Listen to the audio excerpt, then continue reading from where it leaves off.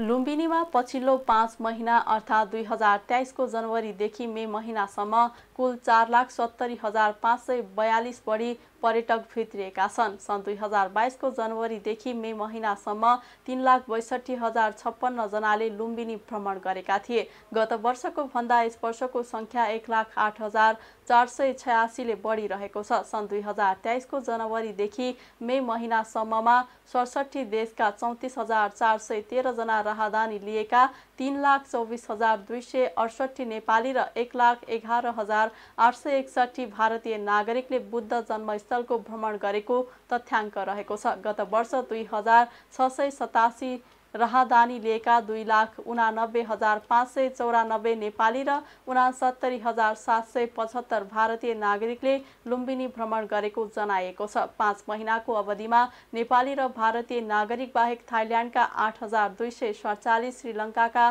पाँच हजार सात सय एक्काइस म्यानमारका पाँच हजार तिन सय अन्ठानब्बे भियतनामका तिन हजार दुई सय पैँतिस कोरियाली दुई हजार छ सय उनातिस चिनिया एक हजार दुई सय आठ र अन्य देशका सात हजार छ सय पचहत्तरजना राहदानीका नागरिकले बुद्ध जन्मस्थल लुम्बिनीको भ्रमण गरेको लुम्बिनी विकास कोषले जनाएको छ। गत वर्ष सन् दुई हजार बाइसमा यिनै पाँच महिनाको आगन्तुक गणना गर्दा तेस्रो मुलुक छयानब्बे देशका राहदानी दुई हजार छ सय सतासी नेपाली दुई लाख उनानब्बे हजार पाँच सय चौरानब्बे र भारतीयको सङ्ख्या उनासत्तरी हजार सात सय पचहत्तर रहेको थियो।